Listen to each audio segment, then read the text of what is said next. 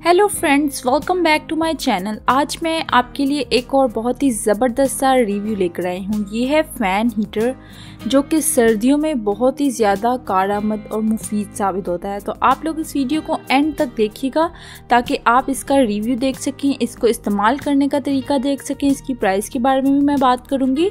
और साथ ही साथ मैं आपको इसको इसकी सारी फंक्शनैलिटी भी बताऊँगी। तो मेरे साथ रहिएगा और अगर आपने अभी तक मेरा यूट्यूब चैनल सब्सक्राइब नहीं किया तो उसे भी सब्सक्राइब कीजिए, ताकि आप मेरे हर न्यू वीडियो से बाखबर रहिए। तो ये देखिए बॉक्स जो है, वो मैंने आपको सारा सब साइड से दिखा दिया है। एक साइड पर डिफरेंट लैंग्वेज है और दूसरी साइड पर इंग्लिश लैंग्वेज में इसके जो फीचर्स हैं, वो यहाँ पर प्रोमिनेंट करके इन्होंने बताए हुए हैं। तो यहाँ पर लिखा हुआ है कि जो हीटर है, उसकी दो स्पीड्स हैं, यानी कि टू उसके जो वोल्टेज हैं, वो टू वोल्टेज इस पर वर्क करता है। अभी हम इसको खोल के देखेंगे किस तरीके से ये टू वोल्टेज इस पर वर्क करता है। साथ में इसकी कुछ और मज़ीद फीचर्स भी बताए हुए हैं। आपको मैं दिखा देती हूँ करीब से। इसके अलावा अभी हम इसको बॉक्स को जब ओपन करेंगे तो तब हम इसके बाकी के जो फीचर्स हैं उनको इस्तेमाल करके भी देखेंगे और इसके अलावा इसको यूज़ करके इसकी सब कुछ इसका हम बॉक्स को ओपन करके देखेंगे। तो ये देख लीजिए, यहाँ पर जो दूसरा फीचर इसका एक और बताया हुआ वो है कि इसके अंदर फ़ैन भी मौजूद है, इसके अंदर हीटर भी मौजूद है। इसके अलावा ये, इसके जो है सेफ्टी के फीचर्स भी हैं, यानी कि ये बड़ा सेफ़ है, क्योंकि बाज़ दफ़ा हीटर आप चलाते हैं तो आपको डर लगा रहता है। तो ये वाला हीटर जब आप यूज़ करेंगे तो ये सेफ़ हीटर और ये स्मॉल रूम के लिए जो है हीटर बिल्कुल परफेक्ट है। तो चलिए, आइए अब हम इसको अनबॉक्स करते हैं और इसको खोल के देखते हैं कि ये अंदर से कैसा है। तो बॉक्स को जल्दी जल्दी से मैं अनबॉक्स कर रही हूँ ताकि डिब्बे में से जो सब कुछ है वो हम बाहर निकाल लें। तो बॉक्स हमारा अनबॉक्स हो चुका है। अब इसके अंदर से जो हमारा हीटर है वो बाहर निकाल लेते हैं। तो हीटर भी बॉक्स में से बाहर आ गया बॉक्स मैंने साइड पर रख दिया है। तो यहाँ पर ये हमारे पास मौजूद है। अब मैं इसके अंदर से सबसे पहले आपको पेपर वर्क दिखा देती हूँ। तो पेपर वर्क मेरे पास यहाँ मौजूद है।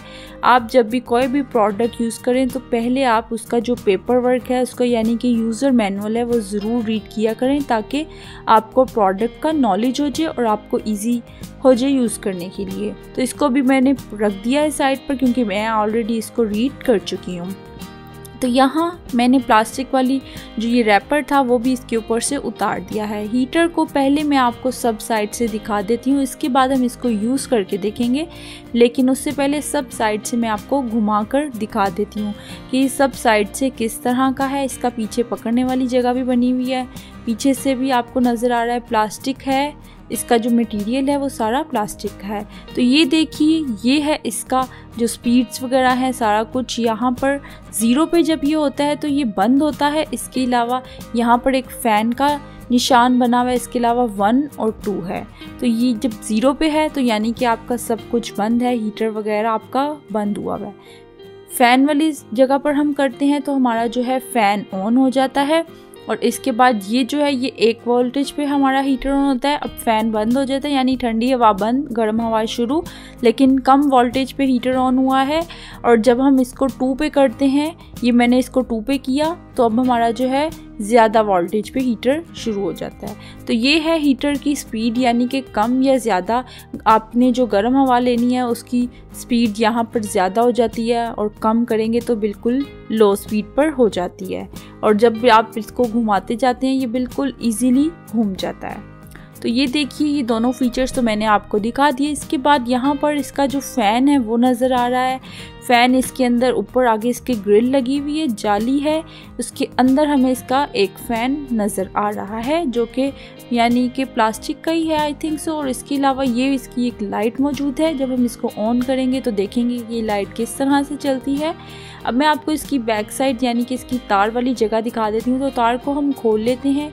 तार को मैंने खोल लिया है। तार की लंबाई भी ठीक है। तो तार को भी हम इसके साथ कनेक्ट करके देखेंगे। तार ठीक है, सब कुछ सेट है। अभी मैं आपको इसको दूर से दिखा देती हूँ ताकि आपको सब जगह से इसका व्यू मिल जाए।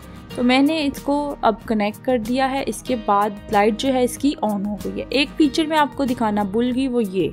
यहाँ पर इसका एक बटन लगा हुआ है। जब हम हीटर को सीधा रखते हैं, यानी कि बिल्कुल लेवल के ऊपर रखते हैं तो ये बटन दब जाता है और तब हमारा हीटर ऑन होता है। ये देख लीजिए, जैसे ही मैं प्रेस कर रही हूँ लाइट भी ऑन हो रही है। मैं इसको रखूँगी। तो साथ ही हमारी जो लाइट है, वो ऑन हो जाएगी। ये देखिए लाइट हमारी ऑन हो गई है। अब ये ज़रा सा भी यानी कि हिलेगा तो फ़ौरन से आपका हीटर जो है, वो ऑफ़ हो जाएगा। तो ये देखिए, सबसे पहले मैंने पंखा चलाया है। पंखे की जो है, एक ही स्पीड है। ये बात मुझे इतनी पसंद नहीं आई, क्योंकि पंखा भी आपको गर्मियों में चाहिए होता है। तो फ़ैन की भी जो स्पीड्स हैं, वो ज़्यादा देनी चाहिए। बहरहाल इसको छोड़ते हैं, आगे देखते हैं। तो आगे अब मैंने हीटर की तरफ़ किया, इसकी जो लो वोल्टेज वाला हीटर है, वो ऑन किया है। इस पर मैंने हीटिंग चलाई है तो यहाँ फ़ौर ही गर्म हवा आने लग गई है। जैसे ही मैंने इसको चलाया, साथ ही गर्म हवा आने लग गई। और ये है इसकी स्पीड यानी कि अभी हमने जब कम वोल्टेज पे हीटर ऑन किया तो इसको अब हम इधर से इसकी जो है कम या ज़्यादा पंखे की जो रफ्तार है, वो कम या ज़्यादा कर सकते हैं। और इसी तरह दूसरे वोल्टेज पे भी चलाकर सेम तरीके से इसकी स्पीड को हम चेक कर सकते हैं। और अगर हम इसकी प्राइस के बारे में बात करें तो मैंने इसको बाय किया है एटीन हंड्रेड रुपीज़ का। अगर आप लोगों ने बाय करना है तो इसकी जो लिंक्स हैं, वो मैं डिस्क्रिप्शन बॉक्स में दे दूँगी, ताकि आप लोग ईज़िली इसको बाय कर सकें। तो मैं अब आपको इसको करीब से भी दिखा देती हूँ।